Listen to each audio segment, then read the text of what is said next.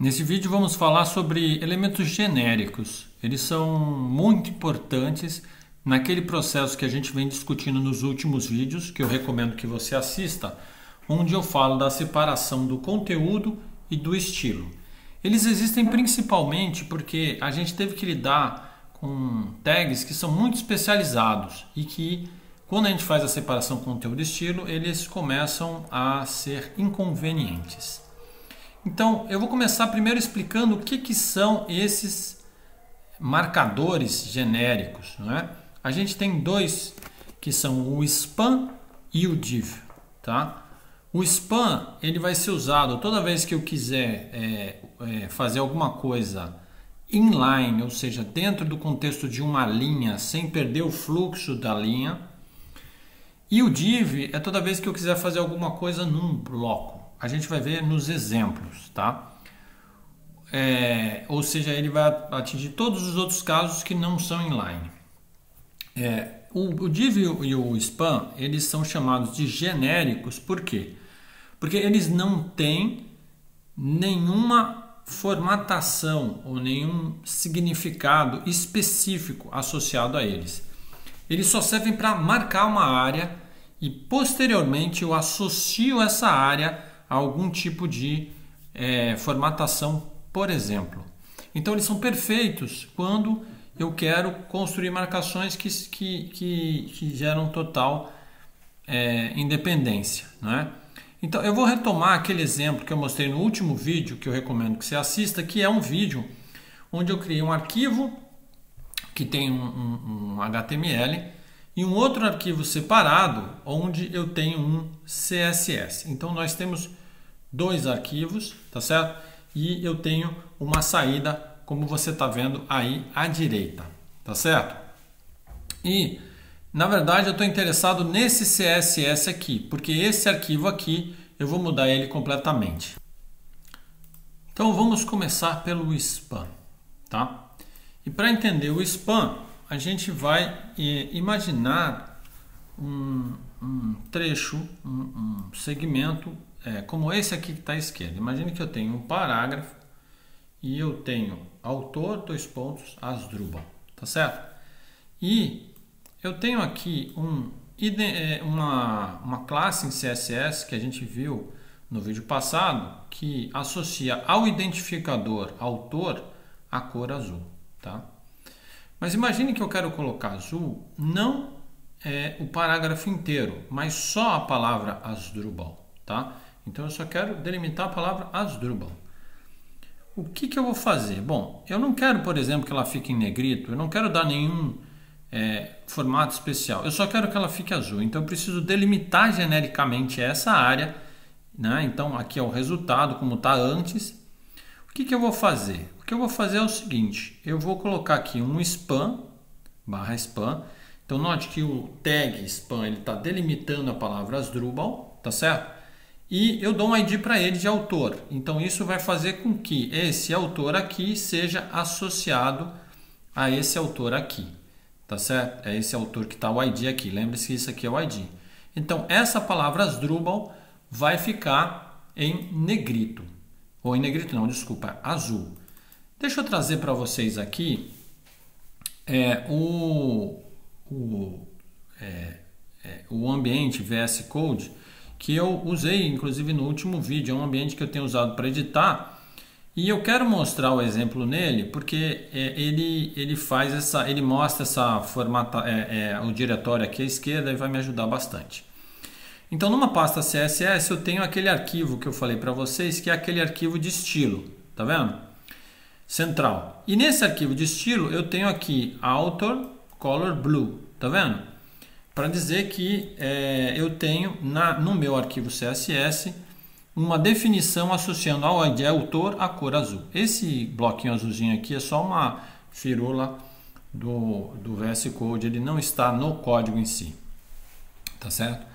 Então, é, é, aí eu venho aqui para o spam, né, ou para o meu arquivo aqui, né, que esse arquivo ele está aqui, olha, né, então, o, o CSS está dentro do diretório CSS e o arquivo HTML está num nível acima em termos de pasta, tá certo? E vamos ver como é que ele está. Então, por enquanto, é, tem assim, autor Asdrubal, tarará. Se eu der um preview, e o VS Code é bom porque ele tem esse, ele tem é, visualizadores de HTML que você pode usar, não é? Então, é, você vai ver aqui à direita como ficaria na página web, tá vendo? Tudo preto, nada diferente. Agora o que eu vou fazer é, eu vou colocar aqui aquela mudança que eu mostrei lá no slide. Eu vou colocar o spam author aqui, tá vendo? Deixa eu diminuir aqui um pouco essa área, você vai ver aqui, tá? Tem um parágrafo com spam author spam e eu vou mandar salvar. Na hora que eu mandar salvar, você vai ver aqui à direita que a palavra author ficou azul, porque agora aqui no cabeçalho do arquivo ele está associado àquele arquivo de estilo que define que o ID azul, o ID autor vai ficar azul. Espero que você tenha entendido esse movimento. O interessante então é que o spam ele pode ser usado para você formatar coisas sem se preocupar muito. É, ele, ele, vem, ele só delimita uma área, ele não, ele não tem nada é, previamente associado a ele, tá certo? Vamos pegar um outro exemplo agora. Tá? E agora eu vou falar do div. O div ele serve para o caso, note que eu usei o spam para um negócio que fica dentro de uma linha, que é o que a gente chama de inline. Eu quero mexer em formato, alguma coisa da linha, mas não quero alterar o fluxo do texto na linha. Eu uso o spam. Nos outros casos, quando tem muitas linhas, tem um bloco, você vai usar o div, tá? Então, como é que funciona? Imagine o seguinte, imagine que naquele mesmo texto que eu acabei de mostrar para vocês, tá? Eu vou trazer ele de novo. Eu tenho aqui mais duas linhas, tá vendo? Olha, eu tenho é, o Dinosaur Story e o Jump, The Dinosaur Jump the Mood, que deu esse, esse lado aqui. E eu quero que esses dois caras, o bloco inteiro, ele fique de uma cor diferente, por exemplo, cinza, tá? Então eu quero que é, todo esse bloco aqui que está destacado aqui pegue essa cor é, cinza que está aqui. A cor cinza, e eu mostrei isso no vídeo anterior, ele foi associada à classe Story. Então lembre, quando tem um ponto prefixando, isso é uma classe. Como é que eu faço então? Você pode dar uma pausa aí e pensar. Eu vou criar um div. Note que o div agora ele consegue abranger um bloco inteiro. Né? Então tem div, class. Então isso é uma associação de classe. Veja no vídeo anterior a diferença story, né? E esse bloco inteiro. Então o que, que ele fez? Ele, ele associou a color gray ao bloco todo. Então você percebe aqui que fica tudo cinza. Se você quiser ver isso no editor, tá? Eu vou fazer aqui. Vocês estão vendo aqui, eu fiz um jeito rápido, né? Vocês percebem, é... deixa eu mandar ele visualizar esse arquivo especificamente, que esse bloco que era preto ficou cinza porque eu apliquei o formato aqui, tá? Então, é, isso em resumo são esses dois caras. Eu queria fazer aqui um comentário importante para vocês entenderem que é o seguinte.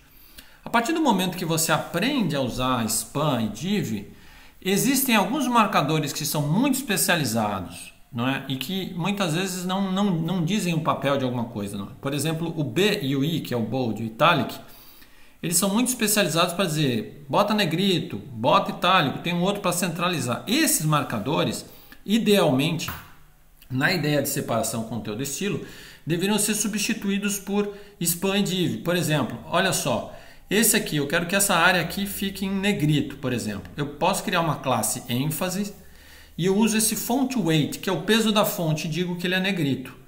E aí eu coloco um span aqui em volta. Esse trecho vai ficar negrito. Eu não uso bold. Ah, mas é, é muito mais complicado, é muito mais prolixo. Mas isso vai ser importante quando você fizer dezenas de documentos, porque esse tipo de estratégia de separação conteúdo-estilo vai permitir que você faça mudanças em lote, em vários é, é, documentos ao mesmo tempo. E isso é muito importante. Agora, tem outros marcadores como H1, que eles não são específicos só um formato, eles, eles têm uma semântica, dizendo que aquilo é um cabeçalho. Esses não devem ser substituídos. Você estiliza eles usando os estilos né, que você quer, mas você pode manter H1, H2, porque tem a semântica, parágrafo, porque tem a semântica do, do que significa aquilo. Tá? Então, esses são os endereços da minha página pessoal e mais coisas sobre o Web to Learn nesse endereço abaixo. Obrigado.